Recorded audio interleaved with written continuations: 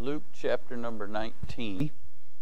Verse number 11, the Bible says, And as they heard these things, he added and spake a parable, because he was nigh to Jerusalem, and because they thought that the kingdom of God should immediately appear. He said, therefore, a certain nobleman went into a far country to receive for himself a kingdom and to return. And he called his ten servants and delivered them ten pounds, and said unto them, Occupy till I come. But his citizens hated him and sent a message after him, saying, We will not have this man to reign over us. It came to pass that when he was returned, having received the kingdom, then he commanded these servants to be called unto him, to whom he had given the money, that he might know how much every man had gained by trading. Then came the first, saying, Lord, thy pound hath gained ten pounds. And he said unto him, Well, thou good servant, because thou hast been faithful in a very little, have thou authority over ten cities. And the second came, saying, Lord, thy pound hath gained five pounds. And he said likewise to him, Be thou also over five cities. And another came, saying, Lord, behold, here is thy pound, which I've kept laid up in a napkin. For I feared thee, because thou art an austere man. Thou takest up that thou layest not down, and reapest that that thou didst not sow. And he saith unto him, Out of thine own mouth will I judge thee, thou wicked servant. Thou knewest that I was an austere man, and taking up that I laid not down, and reaping that I did not sow. Wherefore then gavest not thou my money into the bank, that at my coming I might have required mine own with usury? And he said unto them that stood by, Take from him the pound, and give it to him that hath ten pounds. And they said unto him, Lord, he hath ten pounds. For I say unto you, that unto every one that hath shall be given and from him that hath not, even that he hath, shall be taken away from him. Let's pray. Father, we bless you. Thank you for the good singing. Thank you for the good testimonies. Thank you for being a good God. Thank you for being a God that's, Lord, so gracious and so better to us than we ever deserve. And thank you, Lord, for allowing us to be in your house this night. Lord, we're thankful Brother Bob's feeling better. We're thankful that you gave Brother Josh and Miss Tina traveling mercies. We're thankful for the same for Brother Jim and Miss Judy. And Lord, we're certainly thankful for this good number out tonight. Now, Father, I do pray for Sister Mary. Lord, we know that uh, she is in your hands. We know that, Lord, you are the great physician. And Lord, we know that nothing is impossible with thee.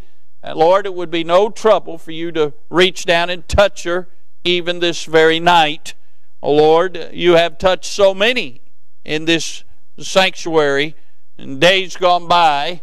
Lord, we know your healing power, Lord, but if it be your will for her to, uh, Lord, have the touch of doctors and the wisdom of doctors and nurses, we pray you'd guide them and give them the wisdom they need. In any case, we pray for Miss Mary that God, your will would be done. Lord, we commit her to your watch care, trusting that, Lord, you'll take care of your servant.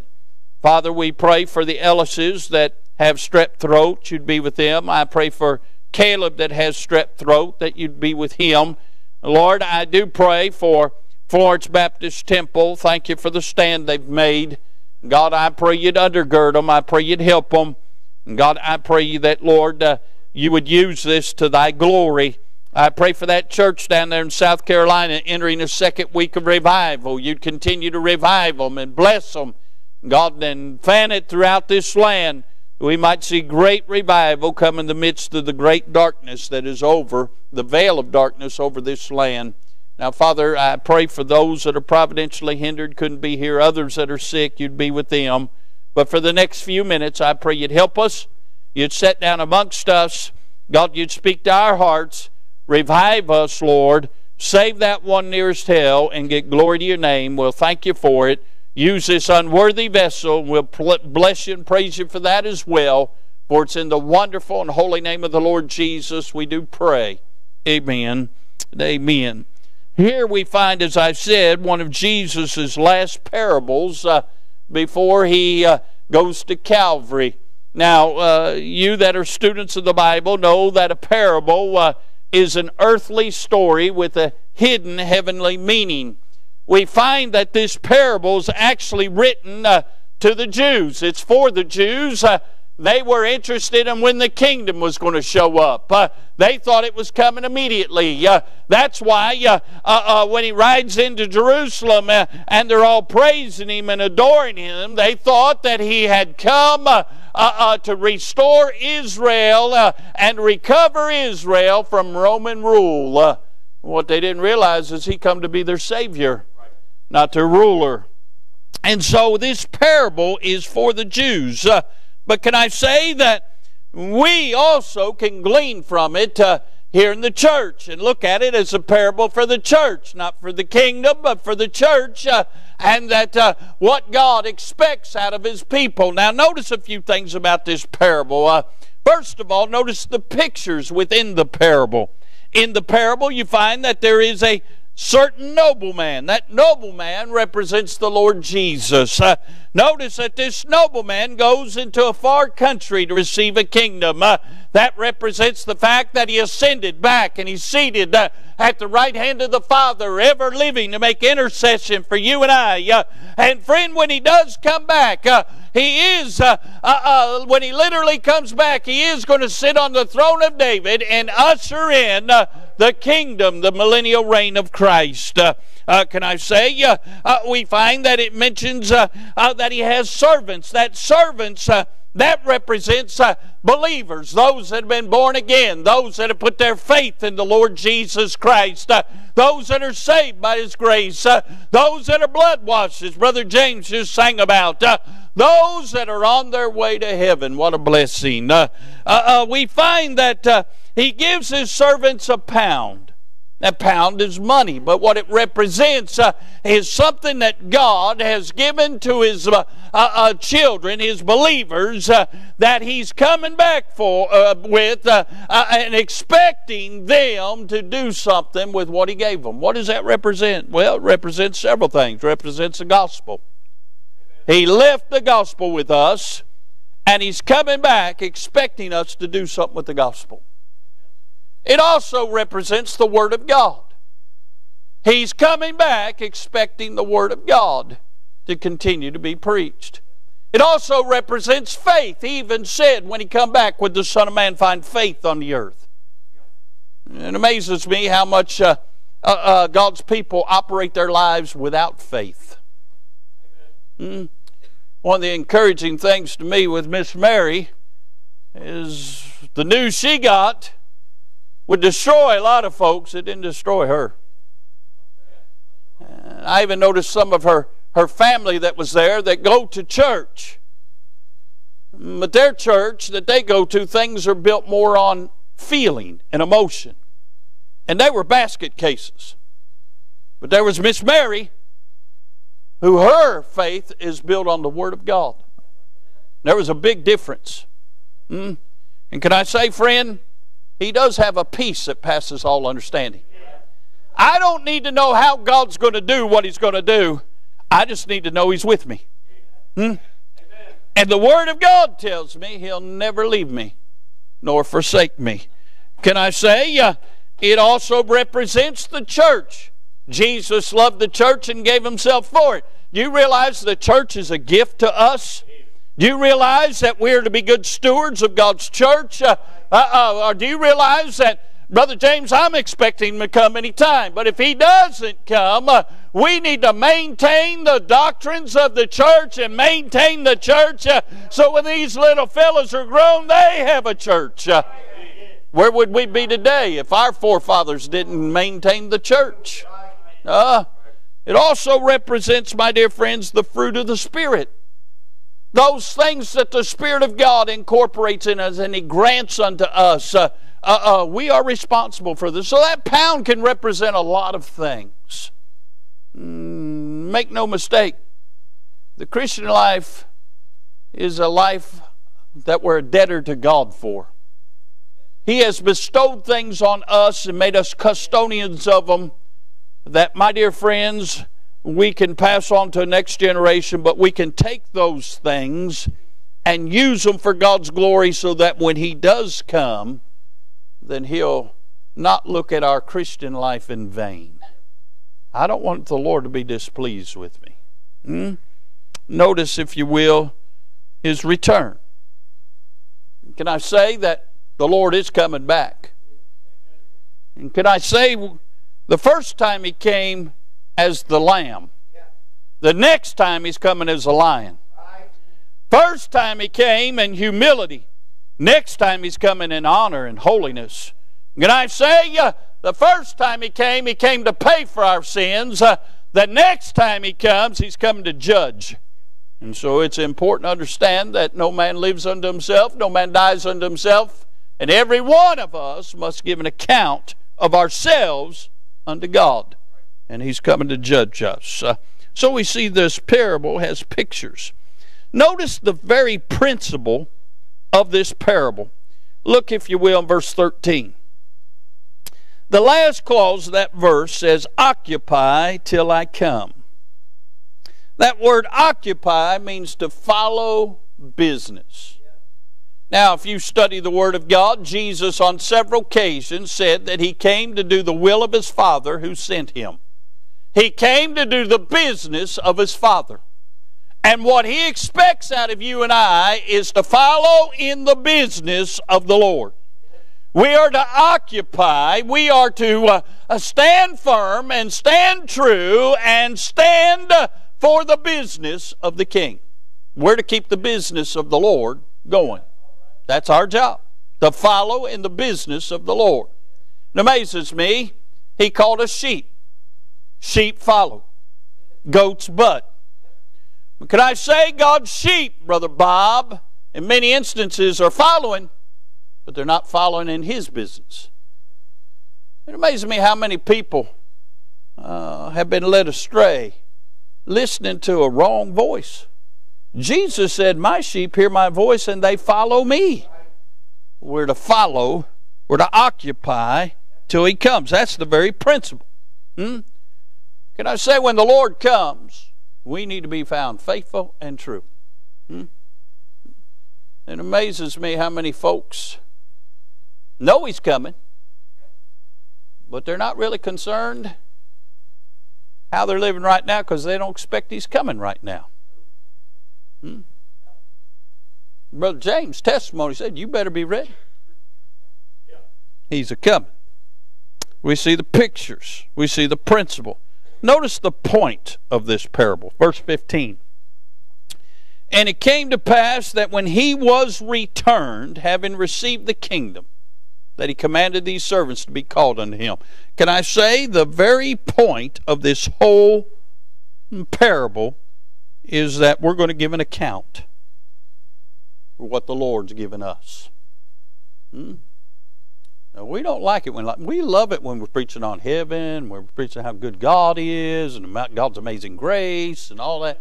God's a God of love. We love all that stuff. All that's true.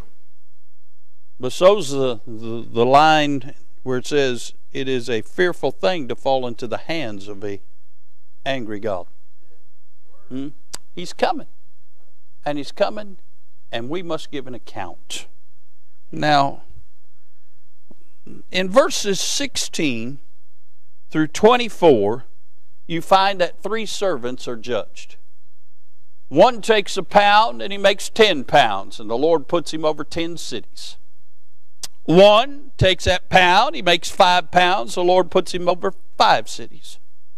One takes the pound and he doesn't do anything with it. He hides it in a napkin and he tries to make excuse for that. Says, Lord, I know you was an austere man. I know when you came you was going to be expecting your pound. So here it is. Hmm? And the Lord said, You knowing that I was an austere man, should have took it and put it in the bank. At least I'd have got some interest on it. Hmm. Now, let me just ask you something right now. I haven't even got to the message yet, but it's gotten real sober. The Lord invested in you when He saved you.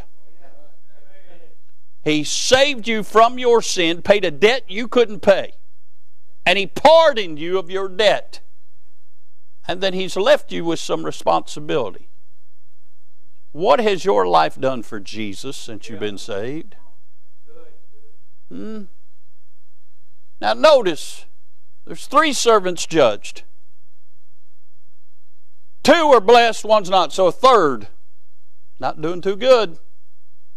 Matter of fact, he takes it away from him and gives it to the man that had ten. Now, a lot of people have the mindset, well, it really doesn't matter how I live. You know, the Lord's going to judge me, and I don't need a whole lot. Just let me go to heaven. Well, you, you've missed the point. Your Christian life isn't about heaven. Your Christian life is about honoring the Lord.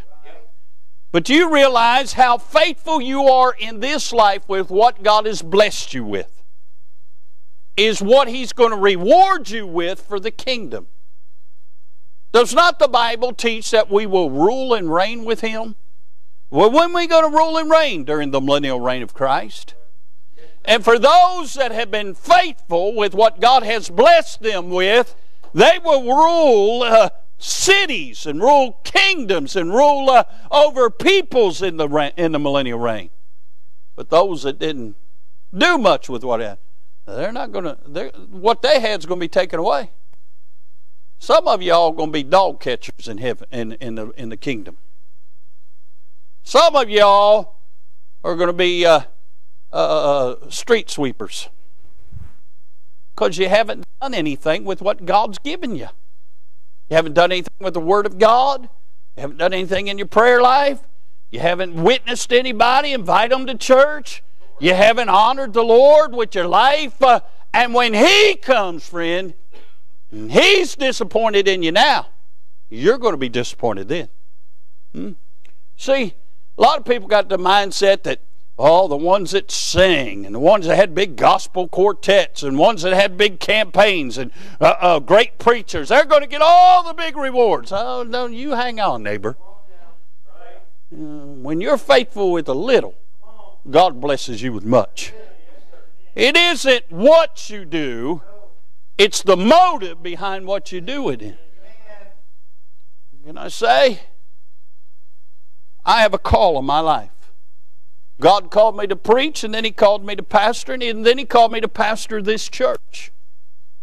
But can I say, if God never called you to preach, or God never called you to pastor, that doesn't make your life any less significant than my life. And my life's not any more significant than your life. This is what God has for me to do. Uh, but God has something for you to do. Uh, and it's your responsibility to God to bloom where you're planted. Uh, it's not about what our job is for the Lord. It's about how faithful we are with what God's put in our life. You may be like Brother Phil, just a stinking welder. Now, I promise you one thing everybody that works around him knows he's a Christian. Does everybody that work around you know that you're a Christian? Hmm? I ain't even got to the message. Some of you already bowed your head and think it's time to pray. But I'm interested here in this very thing.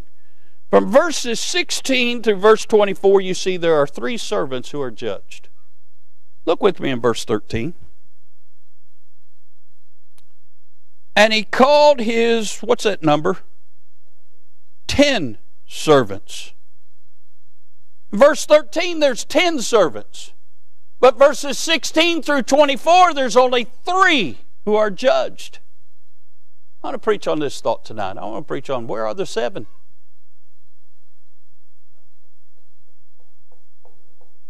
Where are the seven?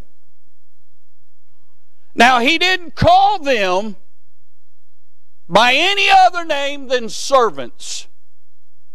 They're all called servants. And they're all given a pound. So, can I just cloud up the, uh, uncloud the, the thought process right now? All of these people had trusted in the Lord. All of them were his servants. All of them received the same gift salvation, sealed with the Holy Spirit, given the opportunity to serve the nobleman. But when he comes back, there's only three of them in the fight. Two of them did pretty good. One of them just treaded water. But where are the other seven? Hmm? Hmm. Now, I'm not the brightest light bulb in the bunch, but I do know that if everybody that once came to church here still came to church here, we wouldn't all fit in here tonight. So, where are they at? Where are the seven? Can I say, first of all, one's in the hog pen of sin. Now, my dear friends, what breaks my heart is there have been people who have sat under good Bible preaching, who have professed Jesus Christ as Lord and Savior, who have been baptized and become a member of a local church, who have tithed their money, who have went out, knocked on doors, and invited others to come, who've sang in the choir, who've taught uh, t- uh, classes, who have preached the gospel, uh, uh, uh who have sang specials, uh, who have been active in a local Bible believing church. Uh, uh, but tonight they've turned their back on the Lord. Uh, tonight they're in a hog pen of sin. some of them are sitting on a bar stool. some of them are sitting in a house of ill repute. some of them uh, uh, uh, are hooked on prescription drugs.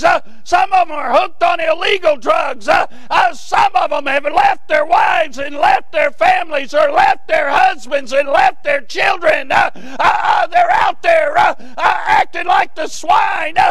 Jesus warned about a dog returning to its vomit, about a hog, swine returning back to the filth of the swine.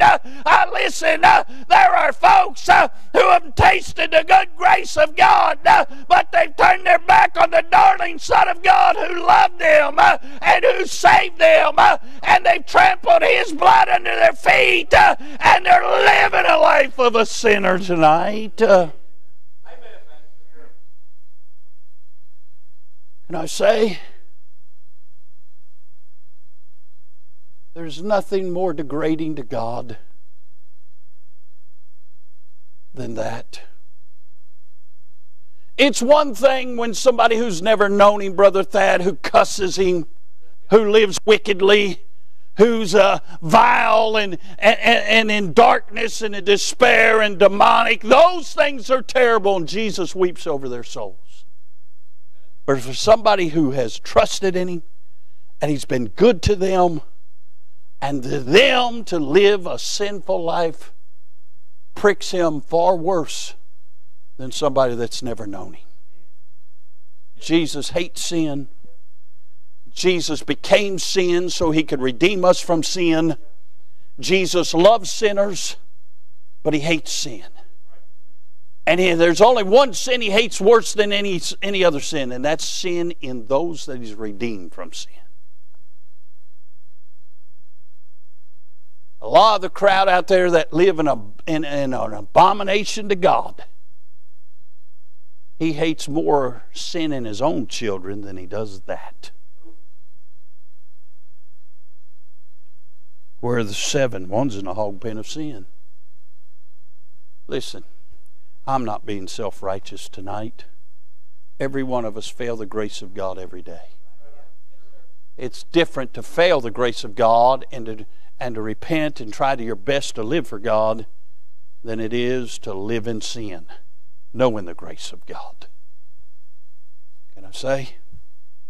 One's in the hog pen of sin. Now, friend, don't look your, down your nose at them. It's only by the grace of God you're not in a hog pen tonight. Left to your own conceits, there's no telling what you could do. You could do far worse than what they're doing. And by the way, they come walking in the doors tonight with hog, hog pen smell on them, uh, we'll love on them. Uh, we'll be glad to see them. Uh, we'll try to get them back to Jesus because uh, uh, Jesus still loves them. Uh, but he hates that sin in their life. One's in the hog pen of sin, can I say? One's in the holler of self pity.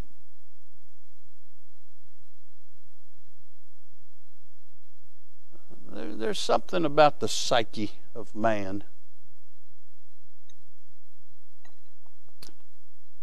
Even though the Bible warns us not to think more highly of ourselves than we ought to, we do. We all think we're better than what we are.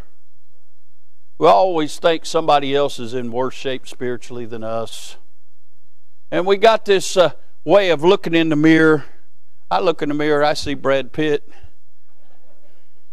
Everybody looks at me, everybody else looks at me and sees Dumbo, one of the dwarfs. You know what I'm saying? Uh, we just got that innate ability about us.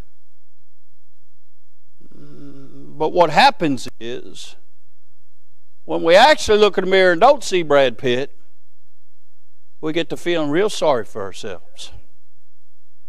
Uh, somebody doesn't shake our hand at church or somebody doesn't like our singing or somebody don't like our message or somebody don't like uh, something about us or somebody we invite to church don't come or somebody just says something bad about us or whatever. We want to suck our thumbs and find a juniper tree.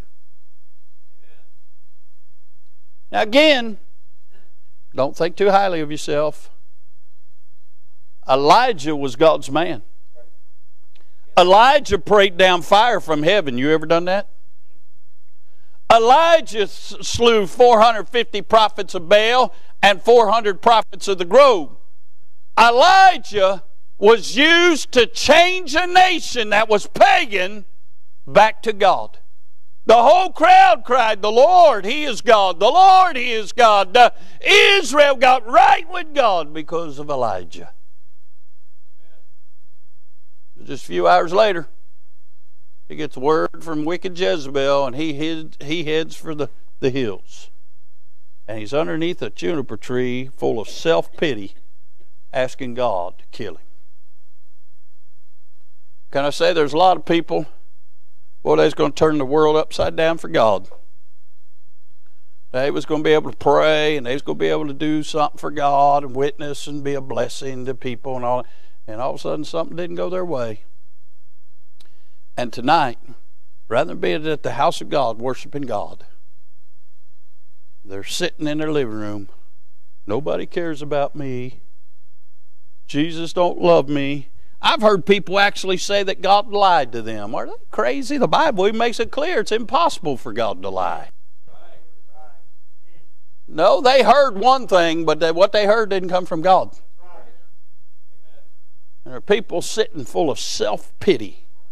Woe is me, woe is me, walking on their lower lip, thinking everybody done them wrong. If you really grasp what we deserve, we all deserve to be in hell tonight. And yet, friend, if you're not careful, you'll be looking for a spiritual pacifier. You'll be sucking your thumb. You'll be, well, the preacher spends more time talking to them than he did me for church. Well, let me help you with all that. You know what the Bible says? You want to have friends, you must show yourself friendly. Quit being stuck up and a stick in the mud, and maybe somebody'll come and talk to you too, huh? No, we get so full of ourselves. And can I say, when you get full of self, you're headed to self pity. Where are the seven? One's in the hog pen of sin.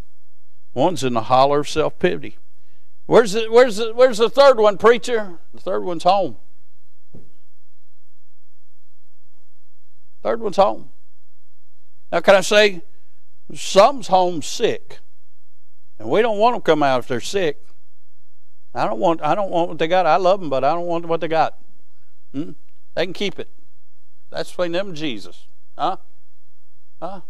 Nobody likes being sick. But sometimes people are sick. And can I say, God understands that? I understand that. That's going to be one of the beauties of New Jerusalem. There'll be no more sickness. What a blessing. Some's homesick. Some's home shut in. There's some that would love to be here, but physically they're not able to anymore. They're shut ins. They'd love to be here. Some of them watch uh, uh, the live stream all the time. Hmm, some of them seen the same service 14 times. It doesn't matter. They're still watching. They love to be here, but they can't. God understands that. And can I say some are home with their lost spouses? Now, if you are here tonight and your spouse with you and your spouse is saved, you ought to be one of the first ones in the altar thanking God you've got a home where your wife and you know the Lord. But I've been at this thing a long time, and I, for a long time, have known uh, particularly ladies that have come to church when their husbands aren't saved, and and, their husbands, uh, uh, uh, uh, some of the time, give them a hard time for how much time they spend at the house of God and not home. What a blessing when a lady's husband is not saved, doesn't mind if she comes to church. But that's not always the case. And sometimes to keep peace at home, she stays home. Hmm? She'd rather be here, but sometimes keep peace at home. I say, Preacher, I'd never do that. Well, first of all, never say never. Yeah, amen. Come on. And don't look down your long nose at somebody else till you've walked in their shoes. Because you don't know what you'd do. And when you say stuff like that, you, re- you just reveal that you're ignorant. Mm. I didn't say stupid, I said ignorant. Thought stupid, but I didn't say that. Huh? You don't know what people's going through. You've heard me preach to for years. You don't know the hurt behind the smiles of people when they come in them doors. You don't know folks that uh, uh, uh, have families that are in a mess and children that are in a mess, uh, husbands in a mess, wives that are in a mess, uh, uh, their finances are in a mess. they got needs at home to be fixed, but they can't get them fixed. Everything's a mess, and it's all they can do to crawl to the house of God. and they come in and they don't want to bring anybody else down, so they come in, they choke up a smile on their face. and friend, if they're not here, don't you dare judge them. Uh, matter of fact, the Bible says that we're not to judge another man's servant. I'm just telling you where are the seven. One's at home. One's in the holler of self pity. One's in the hog pen of sin. Can I say one's hindered tonight? Hmm? Some are hindered earning a living. Now, can I say, there are some ignorant preachers. I didn't get one amen on that. Let me say that again. There are some ignorant preachers. I've heard preachers say stupid things like this. And I know you're not supposed to say stupid in front of children, but hey, that's how I roll. I've heard preachers say, well, if you got a job where you got to work on Sunday, quit your job. Was the preacher going to pay your bills till you get done one? Huh? Listen, right now, it's pretty simple to get a job. I think we've somewhere, Sydney said McDonald's is uh, 16 bucks an hour.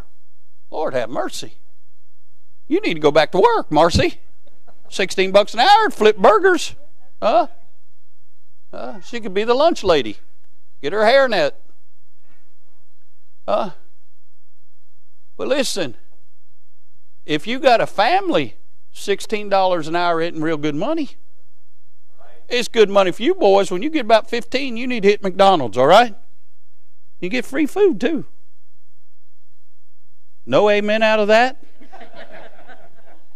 free milkshakes, freaking free deal, huh? But if you got two or three kids and a mortgage and car payments and electric and cable and all that. You ain't going to, you know, $16 an hour ain't going to do it unless you're working 400 hours a week. Hmm? You're not going to do it. Can I say? There are some people, listen to me. This pains me, Brother Charlie. This pains me right here. I'll be 60 this year. Hush. We'll send you back to Arizona.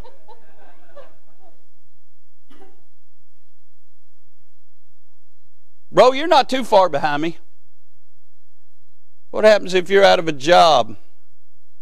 55, try and find a job making what you're making now with the benefits you're making now. How long you been on your job? You've been there a long time. 33 years, huh? All right. Go out there and find one like what you got right now that you've worked 33 years for. And reality is, to his company, he's a liability. Because every year he works from here on in, his health's going to break down. And he's going to hurt their health plan. And the premiums the company's paying for the health plan. So what they'll do is they'll think, man, we're paying him a lot of money. He's eating us up on the, on the health plan. Let's get rid of him and let's hire some knucklehead for $16 an hour. Don't want to flip burgers at McDonald's. Uh, uh, the company's got a better line. Yeah, the knucklehead's not going to do as good a job, but our bottom line will look better. And what's that going to leave him? By the way, I know everybody says, boy, when I get 62, I'm going to retire. You know, the average worker now is working well into their 70s. Mm-mm. So you got another 15 years of working. Isn't that a blessing? Yeah, 62. I'm looking at all them grandbabies you're raising. You ain't retiring at 62, Jack. Uh, you got weddings to pay for, graduations. Uh, Colton eats like your dog eats, you know. Uh, you ain't retiring at 62. Uh, yeah, yeah, yeah, you're right. Hey, he'll get a job at McDonald's. I know Colton. Colton will do it. Nah, you boys might be too bashful. Colton said, bring it on. What are you trying to say, preacher? I'm trying to say some are earning a living. They're not working because they desire to work on Sunday and Wednesday. They're working because they have to. Because a lot of them have had that very scenario I said about him happen to them, and they've had to take what they can get. And until God gives them something different, don't judge them. Pray for them. Some are hindered because they're earning a living. Hmm? Uh, listen, and by the way, God understands that because if God didn't understand it, He'd give them a, a situation where they didn't have to work then. Hmm? Some are hindered because they're earning a living. Can I say some are hindered because they're out running errands? Now, get, don't, don't look at me like I got two heads. I firmly believe you ought to run your errands when it ain't church time. But sometimes things happen where you got to run an errand when it's church, happen, church time. What happens when your water heater goes out? And it's Sunday morning. You got to get a water heater put in. Hmm? Just don't call Brother Ray and drag him out of church. Uh, sometimes things break around the house and you got to get it fixed. Hmm? Boy, that went over real good. Sometimes you have to go to the doctor when it's church time. Hmm? Sometimes you have an event you know, stroke and heart attacks don't care what day of the week it is. Amen. Mm-mm. Matter of fact, Christian didn't care that he was coming. You know, we didn't get to go to church. I took victory and didn't even get to go the first Sunday because he decided he was showing up. Huh? There's sometimes no. Sydney was on Sunday. Sydney was Christian was on Saturday. Sydney, she's always been hard headed. Huh? What I'm trying to say is sometimes there are things out of your control and you're hindered. Some are hindered. Can I say this? Some are hindered by events. It's a fact of life. I hate it. But sometimes kids have events on church nights. Mm-mm. I don't know why. Every time that they're going to have some kind of presentation or special award ceremony they always on Wednesday night. I don't know why it is. Other than the fact it's just a sorry, no good devil. You'd think they'd want to do it on Friday night when everybody could come. They do it on Wednesday. They have graduations on Sunday. Hmm? They got ball games. They got all kinds of kids' events. Now listen. I'm all for kids playing ball, teaches them discipline, teaches them part of being a, being a part of a team. It's good exercise for them. But there's a lot of things going on about all this pee wee ball and stuff today I'm not for. I'm not for you signing your kid to play year round all the time, playing every weekend and all that kind of stuff. You know what you're teaching your children? You're teaching your children ball's more important than God. Occasionally they're going to have situations. I understand that. But I wouldn't sign mine up if they's gone all the time. Hmm? You're teaching them the wrong thing. And, and, and I make parents mad. I do. I don't mean to, but I make. We don't have a Ken Griffey Jr. in the bunch. Hmm? We don't. We don't. I got a nephew. He's in the eighth grade. He's already got offers from Indiana, Kentucky, and Louisville. And his second best sport. That's not even his best sport. He's already got offers. Eighth grader. I know a little bit about some who can and cannot play. It's good to have them involved. It's good to get them out doing stuff. That's all good. But we don't have any Olympians. We don't have any pros. I doubt we even have any college.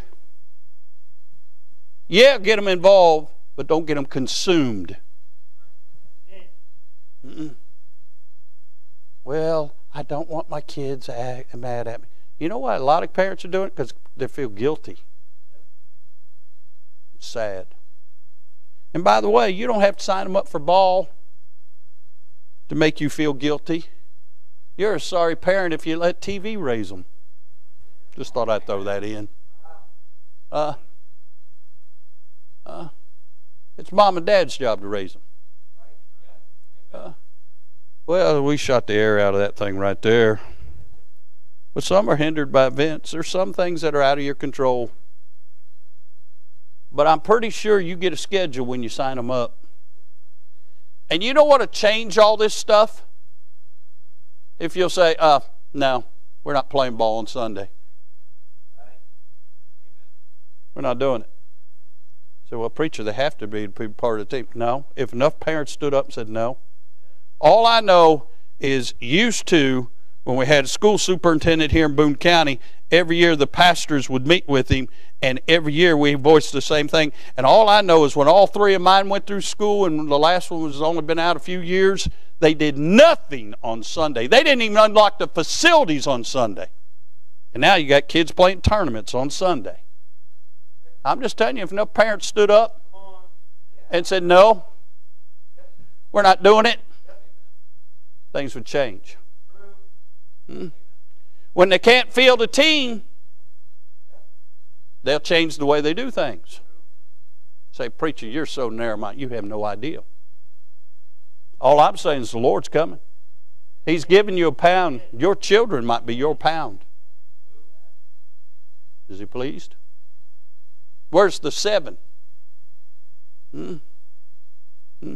I guarantee you, if that one showed up and he took that pound away from me, you know why the other seven didn't show up? Because they didn't even have the pound left.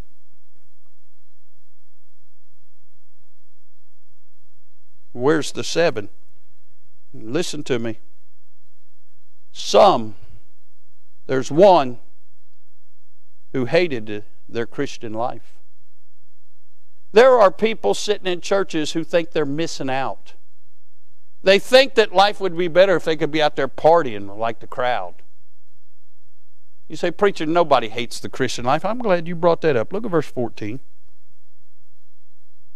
But his citizens hated him and sent a message after him saying, We will not have this man to reign over us. You know why some's not here? They said, The Lord's not going to be my Lord. I'm going to direct my life. I'm going to do what I want to do. God's going to have to be pleased when you know what you're doing when you're saying, I'm going to ignore the Lord, I'm going to ignore the Bible, I'm going to ignore the church, I'm certainly going to ignore the preacher. You know what you're saying? You're saying, Lord, I hate you.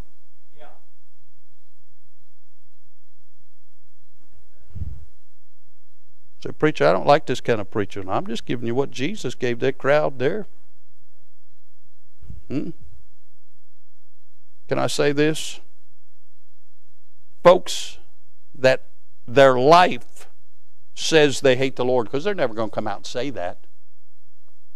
What they're really saying is, I want to die and go to heaven, but while I'm here, I want to live like hell. And friends, I've seen that for decades. People never come to church. People, you know, drink like a, drink like a fish and cuss like a sailor and and, and, smoke like a, a chimney. Oh, I know I'm saved. Really? Because I thought when Jesus saved you, he made a new creature out of you. Oh, I know I'm saved. Some of them are, Brother Clint. But their life says, I really don't love God. Because he said, if you love me, you'll keep my commandments. I got to finish this. Where's the sixth one? He's hardened to his role. You know, you can sit under and sit in church and be here every time the doors open and get hard hearted towards God. That's why the Bible says the word of God breaketh like a hammer. Because sometimes we get hard hearted. And folks get hardened to their role, get hardened to the fact that worship is a thrill, not a chore. Hmm? I don't know about you, but I really enjoyed Brother James and Miss Renee sing. I was looking forward to hearing them sing. It's a thrill to come to church. And yet some think it's a chore. It's because they got it hard. Hmm, they get hardened to works. It amazes me they don't have any problem working around the house. They don't have any problem working their job. But boy, when it comes to doing things for the Lord, just don't have time for it. Mm-mm. They get hardened to their witness. They can talk about their kids, their grandkids. They can talk about the fish they got on the mantle. They can talk about everything but the Lord. It's because they've gotten hardened. Last thing, where's the seven? Where's that last one? Well, honestly, they don't have any excuse. There's some that just don't have an excuse. They just don't. Hmm. An excuse really is just words wrapped around lies. They don't even have that. Hmm. Now, please know this God is keeping a record. He's keeping a record of our adjurations to Him, our promises. Remember last revival meeting when you went to the altar and you promised God you'd do this if He blessed? He kept his in the bargain. Have you? He's keeping a record every time you promised, made a promise to him. It'd be better not to make an oath to God, not to make a vow to God. Listen, he keeps records and promises. Keeps a record of our actions toward him. Keeps a record of our attendance for him. Uh, you know, God knows every time you're here and every time you're not here. He knows. Keeps an, a, a record of our attitude towards Him. Uh oh. And He keeps a record of our acceptance of Him. Do we really embrace what He has to say? Now, all that said, let me just ask you this. How's your pound faring tonight?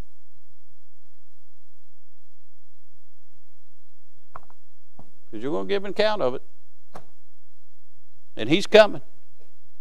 He's coming a lot sooner than any of us really think. Everybody's worried about who's running for president 2024. It might not matter, friend. Hmm? He's coming. How's your pound faring? Let's all stand tonight. Brother Clint, come get a song of invitation. While they're picking out a song, let's pray. Father, it was real eye opening when I saw three giving an account With seven were nowhere to be found. Lord, if we're honest tonight, there's a lot of times we make excuses. A lot of times we're hardened. A lot of times that we just go through the motions. A lot of times that, Lord, we aren't treating you and your pound fairly. Now, Father, help us, Lord, to be busy about the Father's business and following that business till you come to occupy till you come. Now, God bless your folks tonight. Lord, thank you for these that are faithful, these that, Lord, have sold out, doing everything they can for the honor and glory of God. Lord, those that are part of the seven, I pray for them. Lord, I pray they'd their eyes would be open and Lord they'd realize where they are that one in the hog pen I pray they'd come back and get right Lord, that one that's full of self pity, I pray, Lord, that they'd come to the end of themselves. Lord, to get things made right with the Lord. And those that are hindered, those that are, Lord, hurting, those that are facing very, very dire things, Lord, help them. Help all of them. Lord, we're not against them, we're for them. And we know you're for them. So, God, do a work in people's lives. Send revival where folks have a zeal for the things of God again. God, help us to put you first because you so richly deserve that. Now, Lord, bless in this invitation. Speak to hearts. And God, get glory to your name. Lord, if there's anybody here tonight unsaved, pray tonight be the night of their salvation. And Lord Jesus, as John prayed, even so, come quickly. For it's in your wonderful name we pray. Did you know that you could receive a daily devotion every morning in your inbox? Head on over to ibcflorence.com and click on Daily Devotions to sign up today. And as always, thanks for listening.